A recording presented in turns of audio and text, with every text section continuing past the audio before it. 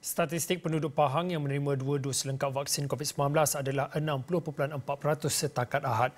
Menurut Pengarah Kesihatan Negeri Pahang, Datuk Dr. Nur Azimi Yunus, penduduk yang menerima satu dos pula adalah 83.2% iaitu kira-kira 978,685 orang dewasa yang layak menerima vaksin.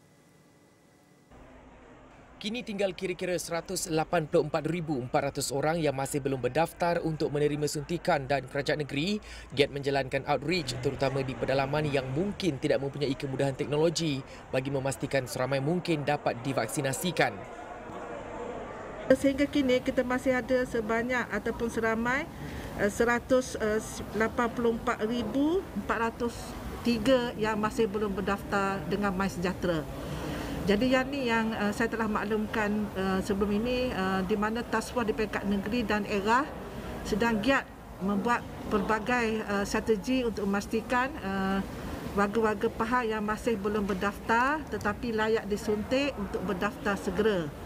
Dan pada waktu yang sama kita juga sedang dan telah menjalankan banyak outreach di pendalaman Pahang bagi kes harian baru di Pahang, menurut Dr. Nur Azimi, majoriti adalah dalam kategori 1 dan 2 sama ada tidak bergejala atau bergejala ringan yang memerlukan mereka hanya dikuarantin di rumah atau PKRC.